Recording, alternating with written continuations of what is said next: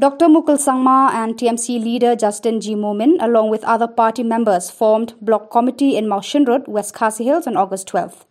Addressing the people, Dr. Mukul Sangma raised pertinent questions on NPP BJP's alliance and said, in 2018 elections, BJP members came and appointed Conrad Sangma as the chief minister, so he acts as their puppet.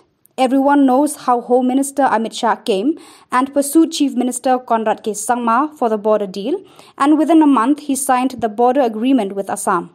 Now, NPP is saying they'll scrap the alliance with BJP and contest alone in the upcoming 2023 elections.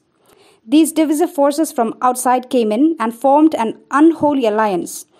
They promised something before the elections, but did they keep their promise? This shows that this is a government that cannot be trusted by the people of the state, he said. Narendra Modi ni Amit Shah ni Shongapa government sa. Government ko songani salo ba Amit Shah ba idei ba bidya. Hmm. Shillong Songjama gama eh, kon BJP ni crack ra jo. Endi ba hadat ni chicha election umat mo mang mai ko agana. Jangan ada BJP maksa absan ujak. Gama kan dina agana UDP ba agana SSPDP ba agana. Tau ba agan thank you. 나오가 하건 타행죠 하다드니 거래가 타고대 정하대 등당당 하다 그렇게 정하대 BJP는 앞산다 그렇자와 예, 그러면 파티 앞산 사타군 도행죠 BJP 박사들 증하대 앞산대 운자만에 증하된다. UDP가 아가니 will fight separately. HSPDP is also saying they will fight separately. But they are together. Now also they are together.